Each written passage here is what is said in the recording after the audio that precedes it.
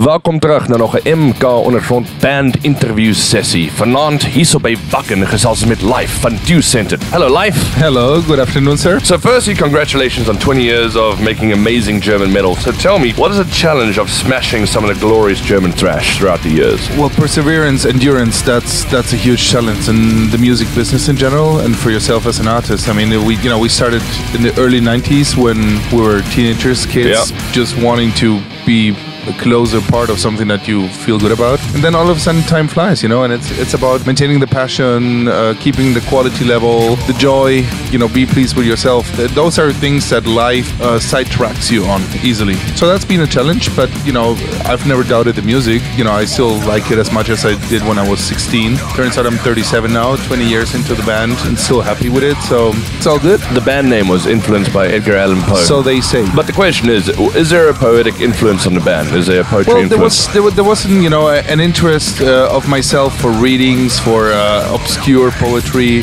at some point in the 90s when I was younger and didn't know better. I think I picked up the term in one of those poems. I am not gonna say it was Edgar Allan Poe because I don't know.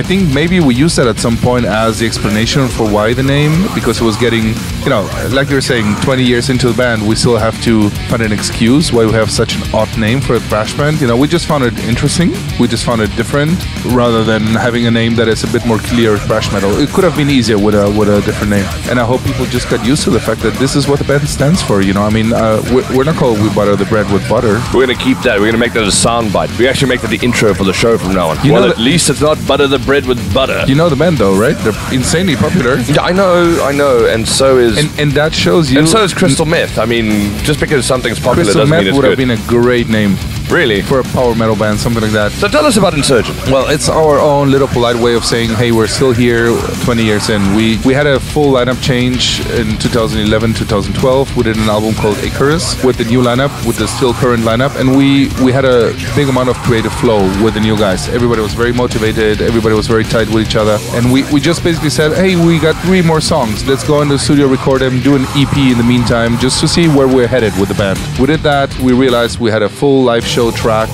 that we could also mix in the studio while being there, and we noticed that we had like six six or seven songs left over from the last two album sessions. So we said, hey, you know, it's 20 years of Dew-Scented. Maybe we should just do an anniversary release. You know, it's often I personally would say it's a corny thing to do. But you got 20 years behind you, so you kind of need to celebrate that point. Well, you know, the way I see it right now, we have two years in with the current lineup. Yeah. I mean, I, I, I, I you know, I'm not gonna deny the, the, the history and the legacy of, of whatever we did before, but I'm saying like I always like to look forwards. Mm. I'm not somebody who will do a nostalgia set, or somebody could offer me a million dollars to do a first album only show with original members. I don't even have contact with those guys anymore. You know, why would I do that? That's you know, I, I, I move forwards. The fascination with the letter I. I know you must be bored of this question but I'm now. not.